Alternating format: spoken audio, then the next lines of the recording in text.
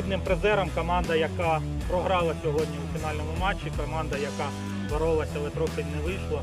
Е, срібний призер малого кубка турніру на підтримку Збройних сил України літа 2022. Команда Прайс міста Дніпро.